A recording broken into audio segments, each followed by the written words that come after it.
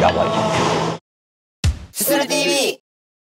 ずるずるどうもすするです毎日ラーメン健康生活ということで相変わらずやってるんですけれども、えー、先日ね、YouTube と Twitter 上で 騒動に巻き込まれていた関西屈指の家系ラーメンの店こちらです。どうも。阪急京都本線京都河原町駅から徒歩4分くらいのところにあります、7代目麺屋芥川さんにお邪魔してます。こちら7代目麺屋芥川さんは今年の1月にオープンしまして、以前訪問したこともある芥川グループの本店である初代麺屋芥川さんの支店となっております。芥川さんね、京都で非常に人気のある家系ラーメンの店であり、まあ、先日ね、王道屋さんのチャンネルで上がった動画でね、もう芥川さんに訪問して、なんかめちゃ、めちゃくちゃ言われてて、本当に。まあなんですけど、その後 X 上でね、芥川さんが一応大人の対応を見せて、まあ騒動自体は収束したんですけど、この動画自体僕3月に収録してて、もうこんな騒動とか起きる前の話だったんですけど、たまたま動画の公開がこのタイミングになっちゃって、まあせっかくだったら一応触れていこうかなって感じなんですけど、久しぶりの芥川さんに非常に楽しみということで、関西の家系ラーメンのお店だったらね、結構フル株なんじゃないかと思うんですよね。早速普通に行っちゃいましょう。レッツゴーえー、こんにちは。というわけで本日はですね、まあ京都来てるんですけども、まあ最近京都とかね、大阪とかも結構家系ラーメングイグイ来てるんですけど、まあその中でもね、結構昔からね、関西の家系ラーメン界を牽引してきたお店、芥川さんの新店が今年の頭にできたらしくてちょうど近くに泊まってたんでねちょっと行ってみようかなっていう。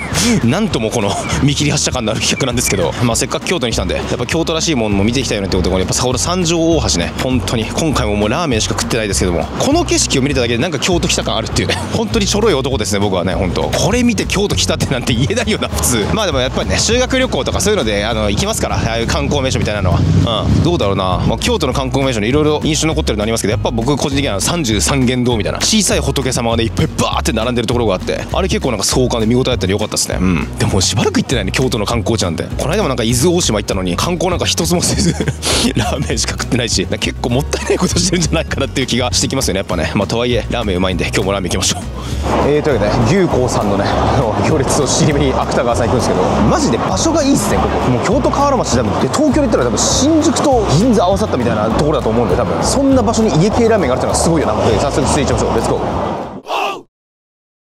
7代目麺屋芥川さん出血です今回はチャーシュー麺並みに味玉そしておかわり無料のご飯をプッシュしお好みは全て普通でお願いしました。店内には食べ方道場というポップや例の芥川の帯システムなんかも貼っており京都という立地で外国人の方にも喜ばれそうなギミックですね明るく丁寧な接客も非常に良く店内の雰囲気は最高だなと思いながら厨房を覗いてみるとスタッフさん方によってテキパキとラーメンが調理されていきます関西でも勢力を伸ばしつつある家系ラーメン。火花を散らす家系東西線が開催される日も近いんじゃないかと思いながらラーメンの到着を楽しみに待ってるぞこちらが7代目麺屋芥川さんのチャーシュー麺並み味玉ご飯ですうれいたっぷりと大判のチャーシューが丼全体を覆うボリューミーなビジュアルに。チー油が多めに浮いたスープも食欲をそそります。丼の縁に並べられた海苔やライスと共に食らう準備は万端だぞってことで早速いただきます。まずは家系らしい豚と醤油が効いてそうなスープを一口飲んでみると。おふんいい色をした豚骨醤油スープは芥川さんらしい甘みのある醤油とまったりとしたチー油が効いておりまろやかマイルドで飲みやすい仕上がり。前回いただいた際もなかなか甘みのあるスープといった印象でしたがやはり関西には関西のラーメンの個性があるな。家系ラーメンも奥深いなと改めて感じさせてくれますお次はそんなスープの中から黄色みがかった麺をリフトして。よっしゃそうするいっぱい。短めの中太麺は家系ラーメン店の中では珍しく自家製麺となっており程よい硬さの茹で加減でつるもち食感がない。そう。表面が強いうねりを帯びていてすすり心地も上々で。羅生門に出てくる下人の行方はどうなったのだろうと思い返しながらズバズバすすっていきます。麺自体の風味が強いためマイルドなスープとの相性も良く麺とスープを一緒に楽しむことで完成するバランス感がなかなか良きです。大判のチャーシューは歯を入れると柔らかジューシーでしっかりとした食べ応えがありスモーキーな風味も広がってチャーのギターをダーって倒したくなる。そんなスモーク感があるとはいえムスタングぐらいの控えめな仕上がりとなっており直径のものと比べると食べやすさのある関西仕様のチャーシューです。そろそろライスもいきますよってことでスープにぴったに浸した。海苔で米を巻いて家系海苔巻きライスを食らえばまろみのあるスープと海苔の磯感が調和してライスと相性抜群。一気に食欲は加速し麺やチャーシューと合わせてガツガツ食らっていきます。お次は卓上調味料で味変を観光すべく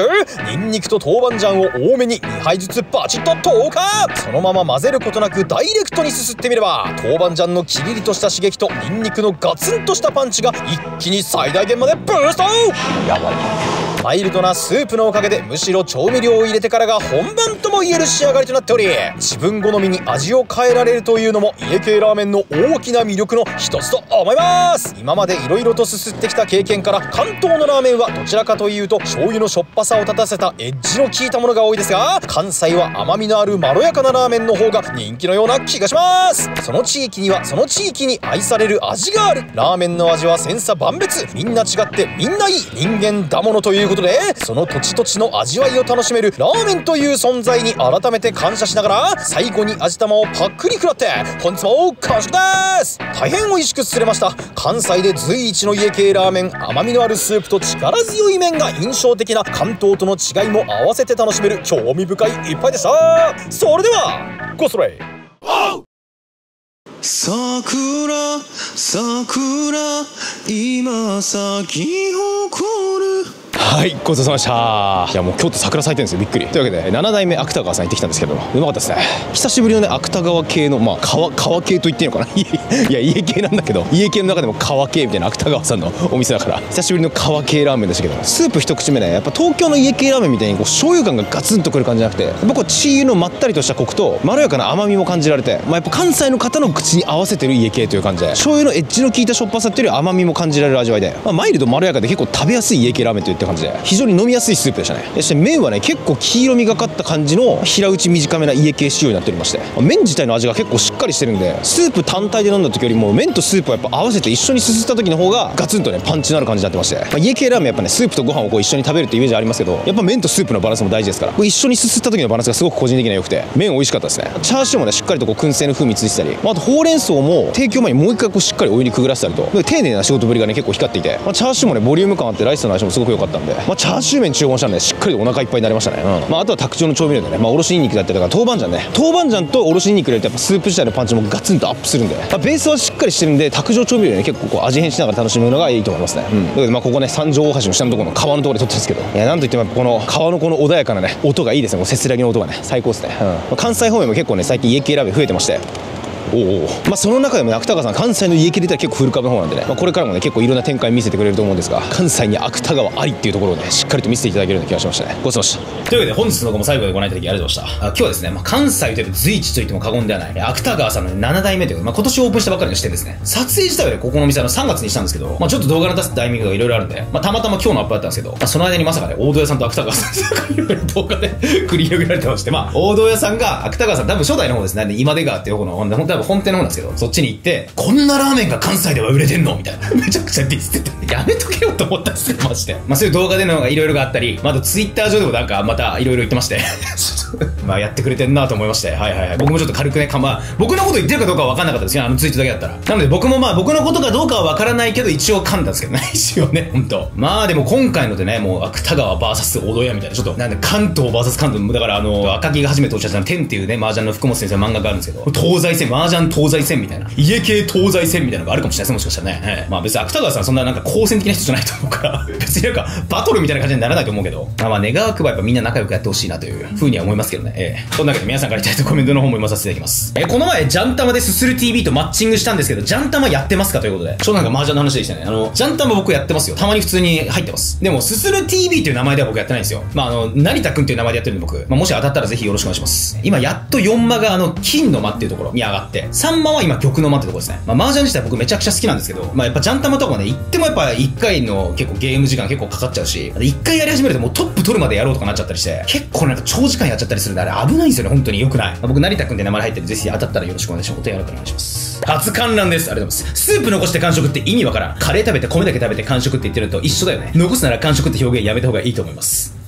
なんかこのさ、例えばそのスープを残すなんちゃら論争みたいなマジ、マジでどうでもいいと思ってて、もう本当に人によるじゃないですか。もうスープを簡易してくださいみたいなルールが貼ってあるお店も見たことないし。で、完食っていうのはもうラーメン業界で言ったら、まあ、麺とかトッピングとかを全部食べたら完食。スープまで全部飲んだら完飲っていう風に一応表記してます。ラーメン業界では。で、あと、このラーメンをカレーに例える人の意味がマジでわからない。なんか前もあったんだよな、これ。そのつけ麺は麺から食べるのかどうなのかみたいな話の時に、カレーの時は米だけで食べないでしょみたいな。だからつけ麺も麺とスープでいきなり食べたらいいんじゃないのみたいなこと言ってる人がいや、全然違うから別物ですから。あの、ラーメンとカレーを一緒にしないでください、マジで。なんかこのすごいうまい感じで例えてますみたいな雰囲気出してくるんだよね、こういう人ってびっくりするよマジで。全然違いますから、ラーメンとカレーマジで別物だからね。全然例えになってませんから、はい。気をつけてください。冒頭、頭ボリボリ書いてましたけど、神奈川にずっといて、お風呂入ってないんですか綺麗にしないとお店さんが迷惑します。成田さんが心配しますよ、ということで。いや、僕、一日で絶対2回風呂入んないと無理なんですよ。朝と夜、まあ朝だから、あの、あれじゃないですか。外出るから。やっぱ、外出る前に絶対風呂入るし、まあ帰ってからも絶対風呂入りますから。頭をボリボリ書いたら、ただその時買い事だけだと思うんですけど、そこら辺はご心配なさなくて大丈夫です。はい。えー、すするから童貞感が消え失せて悲しい。軍備を見習ってほしい。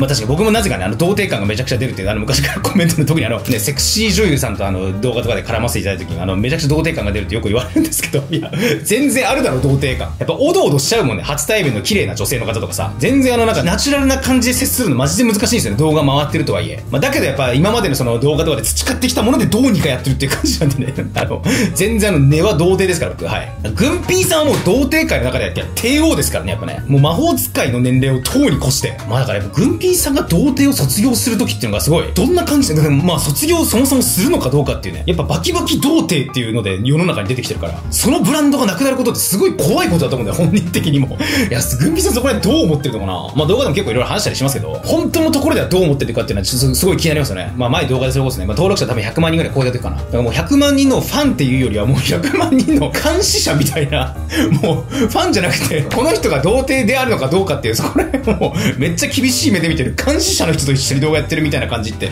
おっしゃってたのを見たことがあってね。あ、でもバキバキ童貞ってのも唯一のコンテンツだと思うんで、YouTube の中でも。あと、グンピーさん率いるね、春と飛行機の二人と一緒に動画撮れる時あったらね、ぜひぜひまたラーメン一緒に行きたいなと思ってますね。えー、そんなわけで本日もたくさんのコメントいただきありがとうございました。えー、ぜひぜひチャンネル登録、高評価、並びにコメントなどもしていただけると嬉しく思いますので、よろしくお願いいたします。ということで、明日の動画でお会いしましょう。